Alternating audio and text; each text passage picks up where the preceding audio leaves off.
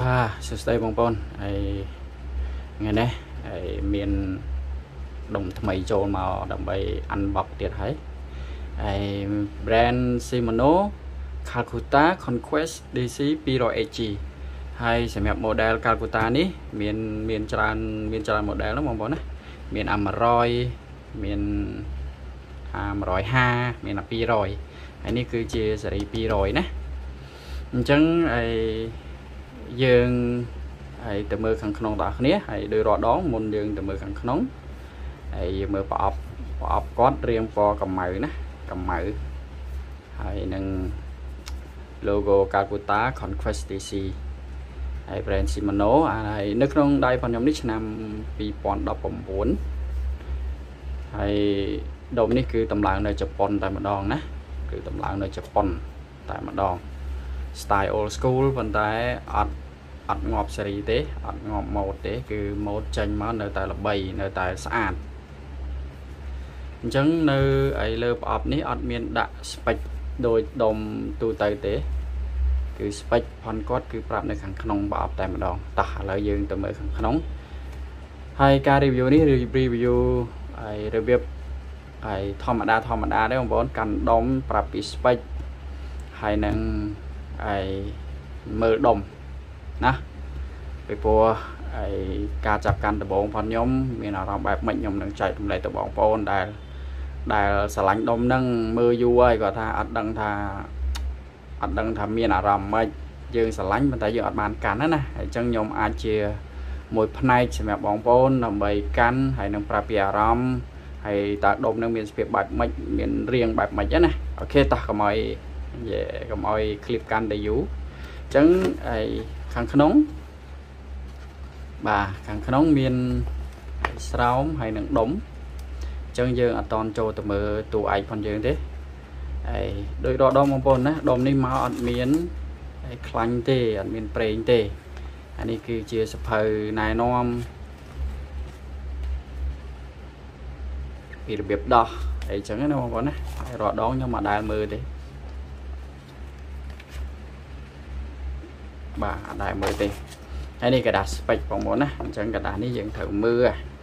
តែវាមានស្ពេចរបៀបម៉េចដើម្បីខ្ញុំប្រាប់បងប្អូនបានណាអញ្ចឹងដូចខ្ញុំបានប្រាប់បងប្អូនពីដំបូងអញ្ចឹងដុំនេះវាមាន model មាន model 100 101និយាយទៅ100នេះគឺស្ដាំ101នេះគឺឆ្វេងអញ្ចឹងវាមាន100 100 AG អា 101AG នេះឆ្វេង 200 201ធម្មតាហើយនឹង 200 AG អញ្ចឹងវាមានវាមានសេរីបែបនេះបងប្អូនណាអញ្ចឹងនៅក្នុងប្រអប់គេនឹងសរសេរហើយបើសិនជាធម្មតាគេសរសេរ100អញ្ចឹងទៅឬក៏ 100 AG សេរី AG ណាហើយនេះជារង្វិលជុំអញ្ចឹងដុំដែលនៅក្នុងដៃផងខ្ញុំកាន់ប្រអប់ហ្នឹងគឺវា 200 AG ព្រោះវាខាងស្ដាំបើសិនជាខាងឆ្វេងវា201អានេះគឺជាលេខកូដដែលគេដាក់មកដើម្បីសម្គាល់ដុំណាចាំពេលបងប្អូន order បើបងប្អូនឆ្វេងបងប្អូនត្រូវកំង201តែបើបងប្អូនស្ដាំយើងកំង200ដើម្បីឲ្យងាយស្រួលក្នុងការកំងកុំឲ្យខុសអញ្ចឹង model ដែលខ្ញុំកាន់នេះគឺ 200AG រង្វិលជុំវា6.2ហើយតម្ងន់ប្រាំងទប់គឺ6គីឡូហើយតម្ងន់ដុំទាំងមូល គឺ265ក្រាមបងប្អូនណានេះគឺជាចម្ងាយដាក់ខ្សែ បាទហើយនេះរង្វិលមកជុំបាន74ហើយកន្លែងនេះខ្ញុំអត់ច្បាស់ថាជាអីទេមីលីម៉ែត្រហ្នឹងមិនដឹងជារង្វិលជុំឬក៏អីណាអានេះសុំសុំនិយាយថាអត់ដឹងចាស់ហើយបដាងវា12បូក1ណាបងប្អូនណាសរុបវា13ហើយអា1នេះគឺជាបដាងគោលហើយក្រៅពីហ្នឹង12ហ្នឹងគឺវានៅតាមផ្នែកវានីមួយៗអូខេអញ្ចឹងយើងបានដឹងពី spec ត្រួសត្រាសតោះយើងទៅមើលអីដុំយើងវិញ នេះនេះបងប្អូនណាចឹងនេះគឺជាស្រោមដែលគេដាក់អីអសរ Calcutta Conquest Shimano និយាយទៅដុំនេះវាបច្ចេកផាក់ផែលជាមួយនឹង Android ហ៎អូខេហើយមុននឹងយើងទៅមើលខាងក្នុងខាងក្រៅវាយើងហើយមើលសភាពខាងក្រៅវាសិនទៅ អារម្មណ៍ចាប់កាន់ដបងគឺហាប់ណែនហើយ165ក្រាមវាកាន់ទៅយើងមានតងន់ដែរបងប្អូនណាខ្ញុំធ្លាប់កាន់តែ195ក្រាមអីទេអញ្ចឹងអានេះវា265ក្រាមវាធ្ងន់ធ្ងន់គួរសមសម្រាប់បងប្អូនដែលលេងដុំធ្លាប់លេងដុំស្រាលណាតែបើបងប្អូនធ្លាប់លេងដុំក្រោមធ្ងន់ធ្ងន់មកកាន់អានេះអត់ធ្ងន់ទេហើយនេះគេដាក់ logo អី made in Japan នេះជប៉ុន ដុំនេះមានសភាពហាប់ណែនមែនតើបងប្អូនណាហើយតួខ្លួនផងវាធ្វើពីហាកាណេហាកាណេនឹងគឺតួខ្លួនអាលុយមីញ៉ូមនោះបងប្អូនណាអញ្ចឹងមានសភាពហាប់ណែននិយាយទៅមកជុំនេះគឺសិតតែអាលុយមីញ៉ូមទាំងអស់ជាពិសេសកន្លែងនេះជាទូទៅស៊ីម៉ាណូគេដាក់ចោប៉ុន្តែនេះក៏អាលុយមីញ៉ូមដែរដៃអាលុយមីញ៉ូមដែរអត់ច្រេះណាបងប្អូនណាអត់ច្រេះទេហើយនេះគឺជាម៉ូដខ្សែ ហើយម៉ូដយើងលេងប្រាំងវាមាន4លេខមានហើយ W នេះម៉ូដវិញណាម៉ូដខ្យល់បងប្អូនណាអញ្ចឹងយើងប្រើវានៅពេលដែលហើយជួបស្ថានភាពខ្យល់បច្ច្រាស់ជាមួយនឹងប្លង់ប៉ុនយើងចឹងយើងអាចគប់ម៉ូដហ្នឹងទៅវាជួយទប់ដើម្បីកុំឲ្យដុំបងប្អូននឹងជាពាក់ហើយវាមាន4លេខហើយប្រភេទដុំនេះគឺប្រើប្រព័ន្ធ IDC ចំនួនទី5 IDC 5 IDC file ហើយនឹង spool MGL spool MGL spool បងប្អូនជា spool ដែល Shimano គាត់ធ្វើមកស្រាលប៉ុន្តែ មានសភាពមាំអានេះកន្លែងជាកលឹះចុចលើចុចកន្លែងនេះមានក្រូមេខាងក្រោមក្រូមេលងហើយកន្លែងនេះជាលក្ខណៈជ័រដែលគេដាក់ line នេះគ្រើមគ្រើមដើម្បីកុំឲ្យយើង មានសភាពល្អិលណាហើយចំណុចល្អដែលខ្ញុំស្រឡាញ់កន្លែងនេះគឺឯ ដាក់ចូលបែបនេះគឺវាអត់ធ្វើឲ្យសឹកអាក្រូមេនេះព្រោះមានដុំខ្លះដូចជា SLX DC ហ្នឹងគឺក្រូមេពេញកន្លែងនេះក៏ក្រូមេដែរអញ្ចឹងក្រូមេបែបនេះយើងចុចច្រើនដងកាន់ច្រើនខែច្រើនឆ្នាំទៅវាអាចហើយនឹងដាច់ក្រូមេនឹងអាលាត់អីចឹងណាប៉ុន្តែបើធ្វើបែបនេះបែបជ័របែបនេះគឺมันអាលាត់มันសឹកมันអីទេគឺនៅតែ ហើយមានសភាពដើមរហូតស្អាតបាទកន្លែងនេះស្អាតបញ្ជាក់បងប្អូនណាដុំនេះដុំមកទឹកជប៉ុនដល់ទឹកជប៉ុនហើយមានខ្សែពេញស្ពូស្រាប់ហើយខ្ញុំយកមកធ្វើការអានបុកអារម្មណ៍ចាប់កាន់ដំបងប្រាប់បងប្អូននេះហើយដុំនេះហើយពេលដែលត្រីទាញមានសលេងណាបងប្អូនណាឥឡូវខ្ញុំបន្ទូប្រាំងតិចបន្ទូប្រាំងអូខេនេះសលេងសលេងស្រួយខ្ញោក ហើយលើចិត្តតិចចានៅពេលត្រីទីមានសលេងហើយកន្លែងខ្យល់តានេះក៏មានសលេងដែរណាពេលបធូតឹងបធូរិតគឺមានសលេងវាងាយស្រួលនៅក្នុងការពេលដែលយើងលេងបើសិនជាវារីលដៃរៀលអីយើងលឺសលេងយើងអាចមានភាពប្រយ័ត្នជាងមុនថាកុំឲ្យវារបូតទេតែអានេះអត់របូតទេមូលមកក៏វាអត់របូតចេញដូចដុំទូទៅដែរណាបាទជាទូទៅខ្ញុំលេងកលងប៉ុណ្ណេះហើយនឹងកន្លែង ហើយ Star Deck នេះកន្លែងផ្កាយរឹតប្រាំងនេះគឺមានសលេងដែរណាមានសលេងហើយប្រាំង6គីឡូបងប្អូនប្រាំង6គីឡូចឹងសម្រាប់បងប្អូនយកទៅលេងគីឡូធ្ងន់គីឡូស្រាលគឺស្រួលមែនតែនសម្រាប់រង្វិលជុំ6.2នេះហើយនឹងប្រភេទហើយខាងក្នុងគឺជា spool micro module micro module ជា spool ល្អិតដែលនៅពេលដែលបងប្អូនប្រវល់គឺ អត់មានសំឡេងคลึกคลักคลึกคลักអីទេគឺមានន័យថាវាហាប់ណែនតែម្ដងពេលបវលគឺ smooth ស្ងាត់អញ្ចឹងវាធ្វើឲ្យពេលដែលយើងទាញត្រីគឺមានអារម្មណ៍ថាវាវាវា smooth នៅក្នុងការងារស្រួលទាញត្រីយកមកលើគោកណា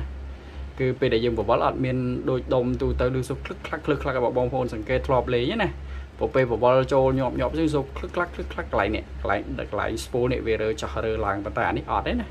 គឺទោះបីបងប្អូនប្រវល់យ៉ាងណាក៏វានៅតែ smooth ធម្មតាហើយបដាង12គ្រាប់គឺ smooth មែនតើបងប្អូន12គ្រាប់ smooth មែនតើនេះអានេះខ្ញុំ pre spool ណា smooth ខ្លាំង smooth ខ្លាំងអឺចាបងប្អូនចូលចិត្តលេងគីឡូធ្ងន់ណាគប់នុយធ្ងន់ធ្ងន់គឺយកទៅត្រូវត្រូវត្រូវស្តង់ដាផងបងប្អូនណា អា smooth មើលទៅមានសភាពហាប់ណែនកាន់ទៅមានតំណុកចិត្តនៅក្នុងការលើគីឡូតែម្ដងជាផ្សេងវាយឆ្ដោវាយអីហ្នឹងគឺដឹងតែពេញចិត្តបងប្អូនស្ដោហ៎អូខេនេះគឺឯតម្រងខាងក្រៅអញ្ចឹងកន្លែងដាក់ដៃនេះក៏មានសភាពមាំបងប្អូនណាពេលយើងបវល់គឺយើងកាន់បែបនេះហើយយើងបវល់មានសភាពមាំមែនតើនេះណាកន្លែងដាក់ដៃក៏និយាយទៅវាធ្វើមករបៀប style compact តែម្ដង compact គឺអីរៀងវាតូច តែយើងកាន់ទៅមានអារម្មណ៍ថា comfortable ណាសុវត្ថិភាពកាន់ស្រួលតូចពេញដៃដែលយើង ពេលដែលយើងលេង គឺ មានតំណចិត្តហើយធ្វើឲ្យមានភាពងាយស្រួលហើយ style style old school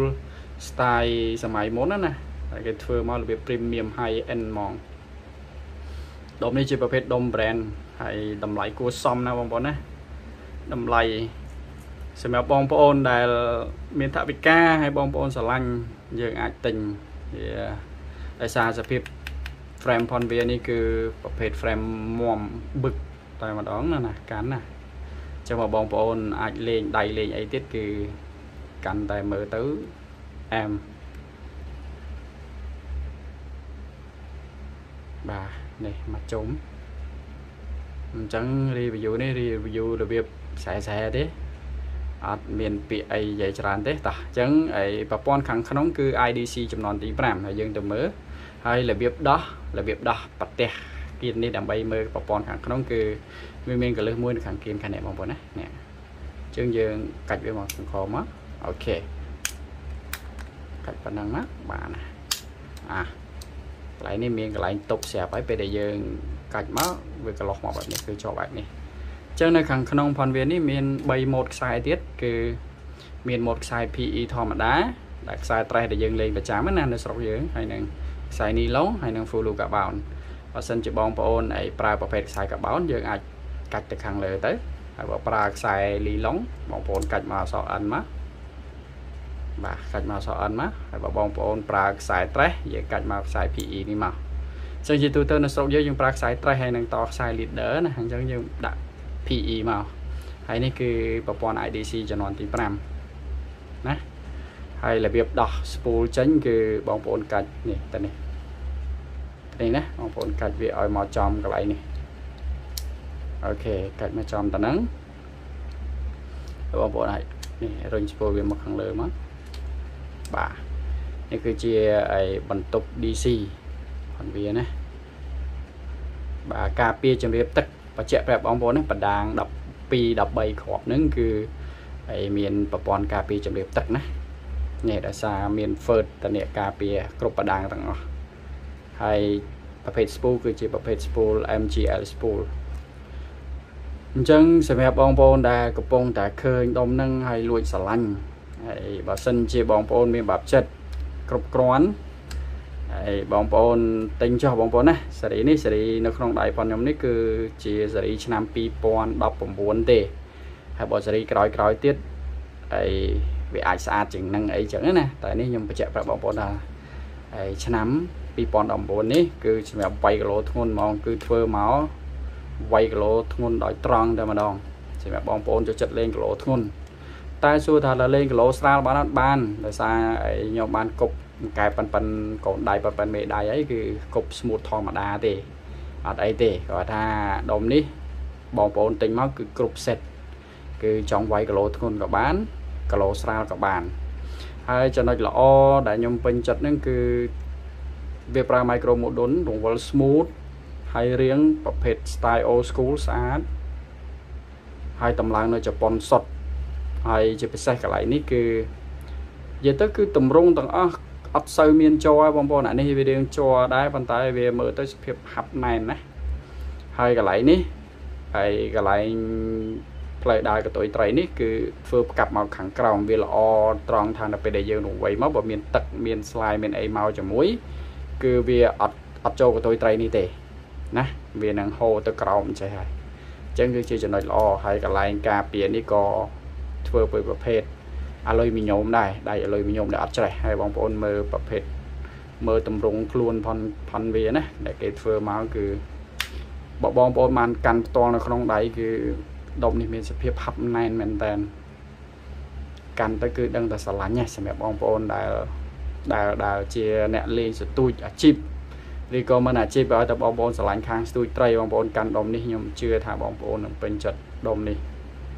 គាត់តែថាតម្លៃក៏វាខ្ពស់ទៅតាមនឹងដែរណាហើយសម្រាប់ដុំនេះគឺយើងលេងយើងរបៀបលេងហើយយើងអាចទុកទុកជាអនុស្សាវរីយ៍ថ្ងៃក្រោយដាក់ទុកមើលក៏សប្បាយចិត្តដែរបាទភាសាដុំនេះវាធ្វើមកពីដែកស្អាតកលុយមីញោមស្អាតមានសភាពរឹងមាំហើយសម្រាប់ចំណុចដែលខ្ញុំអត់សូវពេញចិត្តនោះគឺវារៀងមានទម្ងន់តិចសម្រាប់អ្នកដែលធ្លាប់លេងស្រាលស្រាលដុំស្រាលស្រាលដូចខ្ញុំណា ដុំនេះវារៀងធ្ងន់តិចហើយ265ក្រាមវារៀងធ្ងន់តិចតែពេលដែលយើងកាន់គឺដឹងតែធ្ងន់តែម្ដងណាដឹងតែធ្វើម៉េចគេធ្វើមកគឺឲ្យឃើញបែបហ្នឹងហើយដោយសារទុកអូសគីឡូដែរអញ្ចឹងណាអញ្ចឹងសរុបទ្រុសទ្រុសមកវិញគឺឯស្ពេកដុំនេះហើយ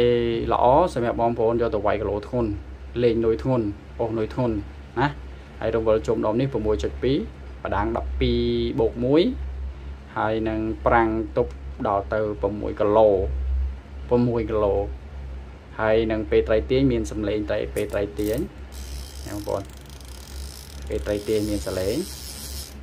កន្លែង star deck វាក៏ស្អាតដែរកន្លែងផ្កាយផ្កាយរត់ហ្នឹងស្អាតបាទអូខេអញ្ចឹងហើយសង្ឃឹមថាបងប្អូនមើលវីដេអូនេះហើយបងប្អូន នឹងអាចសម្រេចចិត្តបានបើសិនជាបងប្អូនមាន